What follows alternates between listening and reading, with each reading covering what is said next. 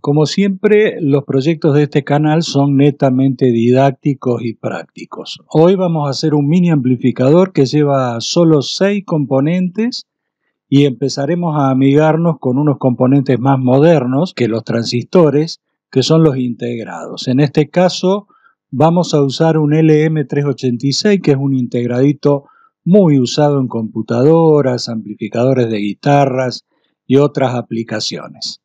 No te vayas de acá que ya empezamos con este nuevo proyecto.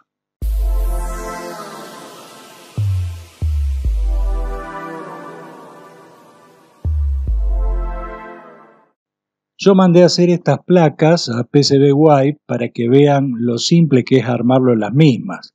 Pero si ustedes quieren pueden armarlo en el protoboard para practicar. Podrán hacerlo también si necesitan hacer el amplificador con algún fin específico, pedir las placas de PCB que salen solo 5 dólares más el envío las 10 unidades. Son de excelente calidad y las envían rapidísimo. En la página de PCBWay de proyectos compartidos podrás encontrar el desarrollo completo también de este proyecto, con circuito, materiales necesarios y algunas fotos de la placa ya armada.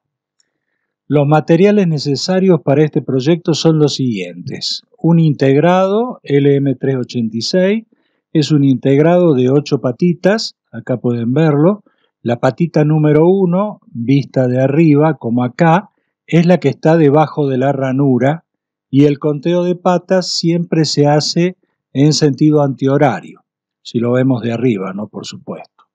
También necesitaremos un potenciómetro de 10K, una resistencia de 10 ohm, que es marrón, negro, negro, y un capacitor de 100 nanofaradios, dos electrolíticos, uno de 10 microfaradios, 25 voltios, y el otro de 220 microfaradios, 25 voltios. Y bueno, eso sería todo. No hay mucho más que conseguir.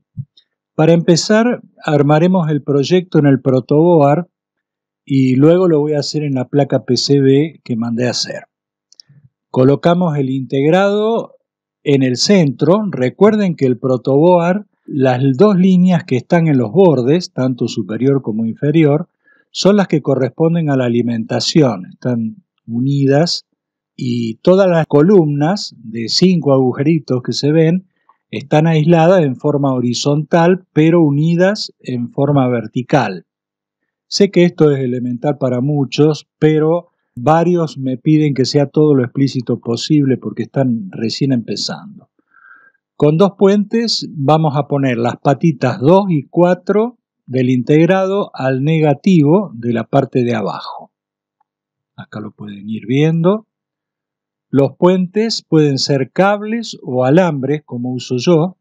Estos son alambres de cable telefónico, creo que ya les había dicho. Son muy muy convenientes porque son rígidos, muy lindos. También desde la pata número 5 vamos a sacar el positivo del electrolítico de 220 micro que irá al parlante y la otra pata del parlante a la línea negativa. ¿Mm? Acá pueden ir viendo. También de esa pata número 5 del integrado vamos a sacar el condensador de 100 nanofaradios que va en serie con una resistencia de 10 ohm. La otra punta de la resistencia va al negativo también. Si se fijan en el diagrama, la combinación esta de capacitor-resistencia ya la habíamos visto cuando hicimos el dimmer. Se llama Rensnuber y evita picos indeseados que podrían dañar el integrado y además también mejora la calidad de audio. Desde la pata número 3 sale el positivo del electrolítico de 10 microfaradios que va a la pata central del potenciómetro de 10K. Ese potenciómetro va a ser el control de volumen del amplificador. Uno de los extremos del potenciómetro lo vamos a poner a negativo y el otro va a ser la entrada del amplificadorcito. Bien, me falta el positivo, a la pata número 6 la vamos a poner a positivo Por comodidad la voy a colocar en la fila positiva de arriba y es el cablecito rojo que ven ahora. Ya está todo listo.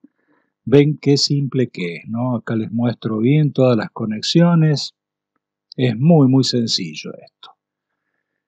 Es ideal para encararlo si estás empezando. Además, te va a servir muy bien si hiciste alguna de las radios simples que te mostré en otros videos, como la radio galena o los regenerativos, que tienen niveles muy bajos y solo se pueden usar con auriculares. Vas a poder ingresar la señal de entrada del mini amplificador y escuchar a un nivel mucho más adecuado.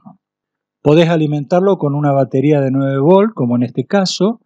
También se puede alimentar con 12 voltios, no vas a tener problemas. En realidad, podés trabajar entre 5 y 12 voltios para alimentarlo sin ningún inconveniente. El parlante, eh, bueno, yo te recomiendo si tenés uno de 3.2 ohm, pero bueno, si no lo tenés, podés usar cualquiera. En este caso, yo voy a usar un parlante viejo de una PC. Vemos la impedancia de 4.2 ohm. Y bueno, cuando los parlantes tienen caja acústica como este, suenan muchísimo mejor. Vamos a probarlo con el celular a ver qué pasa.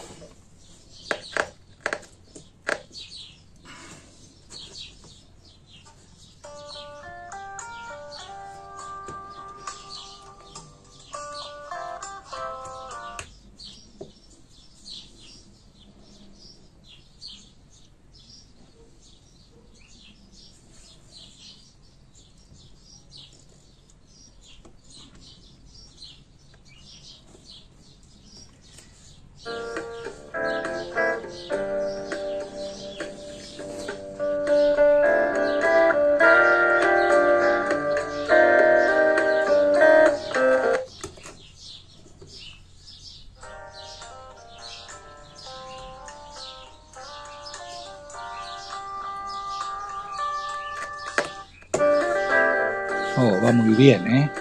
Se puede notar perfectamente la diferencia de volumen cuando uso el amplificador del celular únicamente y cuando lo conecto al amplificador. Tiene muy buen volumen. ¿eh? Acá este, voy a armar ahora el proyecto en la placa de PCBWay que diseñé. Esto sí que es súper fácil. ¿eh?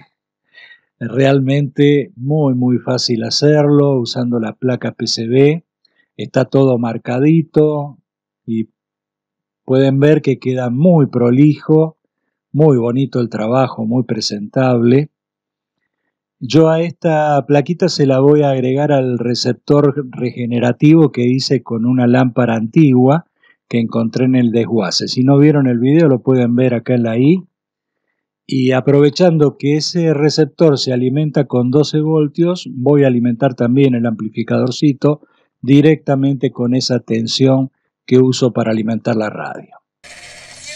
Bien, acá ya la he conectado.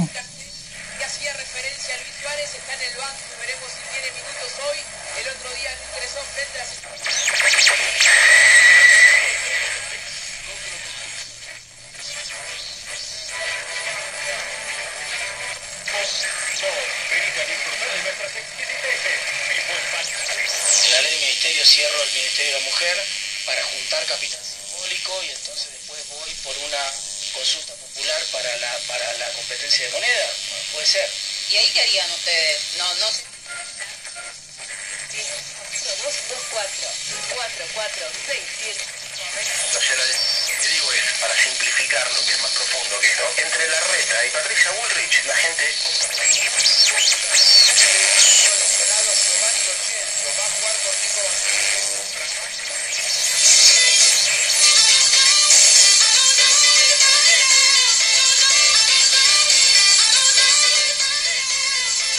qué lindo que funciona, ¿no? Se puede escuchar a un volumen bastante moderado, ¿eh? espectacular. Me gusta mucho cómo quedó, también pueden usarla, como les dije antes, con la radio galena, eh, que hice utilizando un diodo de cristal. Acá también les dejo en la i por las dudas si no vieron ese video. Tengo preparado otro amplificador un poco más grande, de más potencia, para más adelante, Este me pareció muy adecuado para ir haciendo algo con integrados y espero que les haya gustado y puedan replicarlo en sus casas. Pongan el like y suscríbanse al canal picando la campanita para recibir las notificaciones.